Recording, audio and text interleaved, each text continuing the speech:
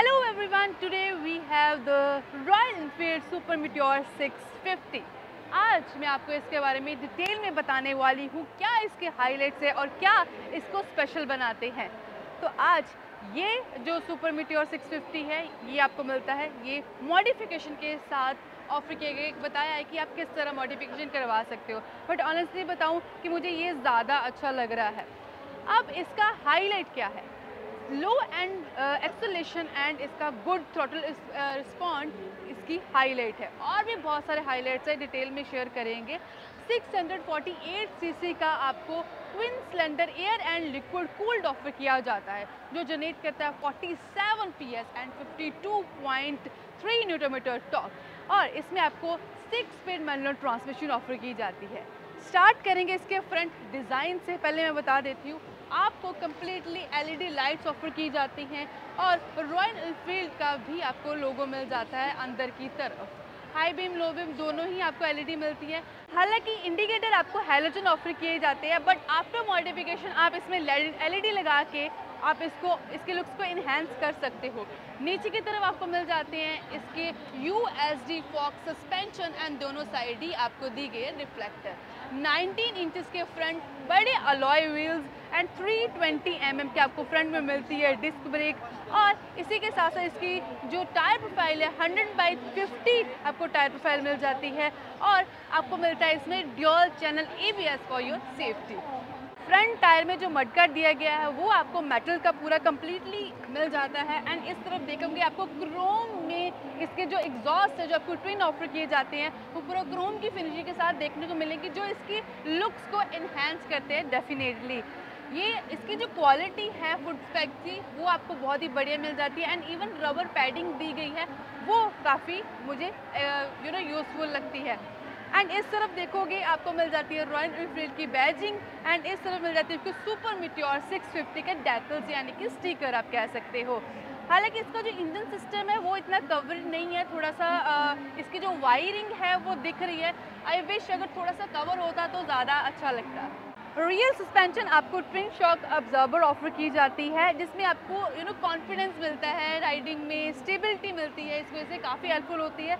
And बड़ा tyre profile मिल जाती है 16 इंचेस के अलॉय व्हील्स एंड रियर में आपको मिलती है ventilator disc brake 300 hundred mm की एंड एबीएस भी दिया गया है। जैसे कि मैंने बताया, इसमें आपको ड्यूल चैनल एबीएस मिलता है एंड इसका जो बड़े साइज़ का आपको बड़ी वुड का टायर प्रोफ़ाइल है 150 बाई 80 सेक्शन के साथ मिल जाता है। एंड प्रॉपर आपको मडगार्ड दिया गया, पीछे तक इसकी कवरिंग की गई है एंड ये भी आपको मेटल का ही ऑफ़र किया गया है।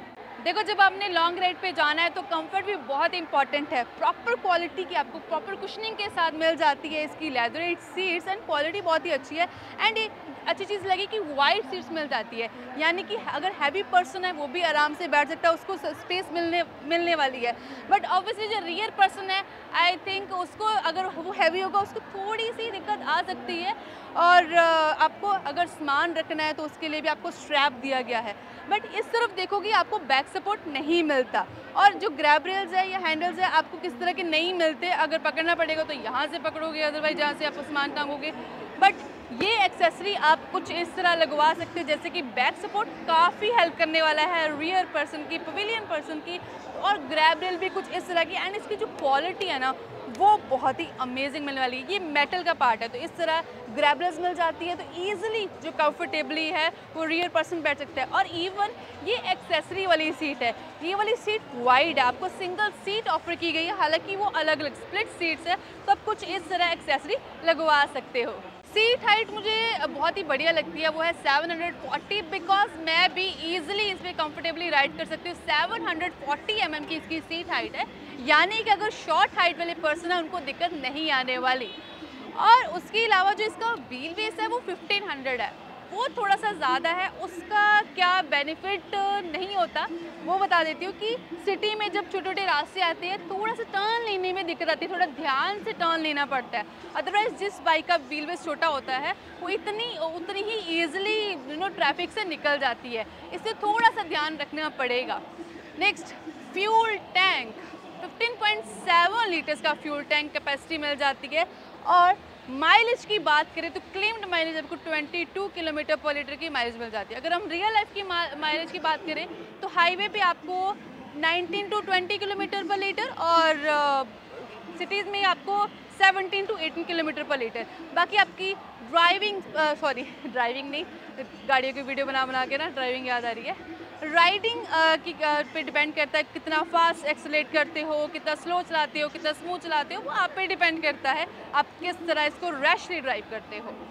अब मेन इसमें आपको हैंडल बार जो दिया गया उसमें भी आपको साटन क्रोम की फिनिशिंग देखने को मिलेगी, जो इसके, जो एलिमेंट्स दिए गए ना, वो इसके लुक्स को इन्हेंस करते हैं ना एक प्रीमियम फील देते हैं, आपको ऑब्वियसली प्रीमियम है भी। इस साइड आपको गियर स्विच मिल जाता है। रॉयल एनफील्ड के टिपिकल आपको कंट्रोल्स मिलते हैं। इस तरफ़ आपको हज़ार लैम्प दिया गया है इसका कंट्रोल और लेफ़्ट साइड पे आपको मिल जाते हैं पास के कंट्रोल इंडिकेटर के एंड हॉर्न के कंट्रोल्स मिल जाते हैं। सेमी डिजिटल इंस्ट्रूमेंट क्लस्टर छोटी सी स्क्रीन पे आपको इंफॉर्मेशन जैसे कि टाइम फ्यूल और ऑडोमीटर एंड गियर इंडिकेटर कौन सा गियर है और ये इंफॉर्मेशन शो होगी। और जो स्पीडोमीटर है, वो आपको दिया जाता है एनालॉग बट अच्छी चीज़ मुझे लगी है कि इसके जो नंबर की विजिबिलिटी है, वो ऐसा लग रहा है जैसे कि वो लाइट्स हो एलिमिनेटेड हो तो डेफिनेटली आपको अच्छा ज़रूर लगेगा। इस तरफ़ आपको ट्रिप नेविगेशन मिल जाती है एंड ये रहा इसका सिस्टम ये आपको ऐसा नहीं है कि दोबारा से लगवाना पड़ेगा, जैसे कि हंटर में आपको ये लगवाना पड़ता है एज स्टैंडर्ड नहीं ऑफ़र किया जाता। बट सुपर मिट्योर 650 में आपको एज स्टैंडर्ड ये फीचर ये ऑफ़र किया जाता है। रियर प्रोफ़ाइल की बात करूँ तो आपको एलईडी टेल लैंप्स ऑफ़र किए गए हैं एंड इंडिकेटर हालाँकि आपको रियर में हेलोजन मिलते हैं बट आप एज एन एक्सेसरी जैसे कि अवेल बहुत ही ज़्यादा ऑप्शन अवेलेबल है रॉयल एनफील्ड में तो आप एलईडी इंडिकेटर भी लगवा सकते हैं। अब कलर ऑप्शन की थोड़ी सी बात कर लेते हैं। इसमें आपको बहुत सारे कलर ऑप्शन मिल जाते हैं, बहुत सारी ऑप्शन मिल जाती हैं एंड वेरिएंट्स भी आप कह सकते हो। Three lakh forty three thousand से इसका प्राइस स्टार्ट होता है, जिसमें आपको एस्ट्रियल एस्ट्रियल ऑप्शन मिलते हैं, जिसमें आपको सिंगल टोन कलर मिलेंगे। सेकेंड आपको इंटरस्टेलर ऑप्शंस मिलेंगे, जिसमें आपको ड्यूल टोन कलर ऑप्शन मिलेंगे, जैसे कि ये रेड वाइट कुछ इस तरह के। बट जो इसका टॉप मॉडल आप कह सकते हो सिलेस्टियल उसमें आपको क्रोम का ज़्यादा काम मिलेगा। ड्योनटोन कलर ऑप्शन ऑफ़र किए जाएँगे। तो वो उसका प्राइस है three lakh seventy eight thousand यानी कि three forty three three lakh forty three thousand से शुरू होता है प्राइस एंड टॉप मॉडल का प्राइस है थ्री लैख सेवेंटी एट में यहाँ पे मेंशन कर देती हूँ। आपको सुपर मिट्योर 650 कैसी लगी? एंड कौन सा, अगर आप ये बाइक लोगे तो कौन सा कलर ऑप्शन चूज़ करोगे? नीचे कमेंट करके ज़रूर बताइए।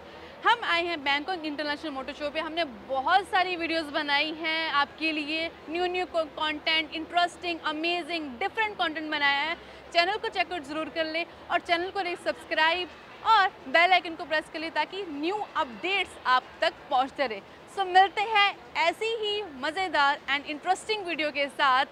तो बाय बाय टेक केयर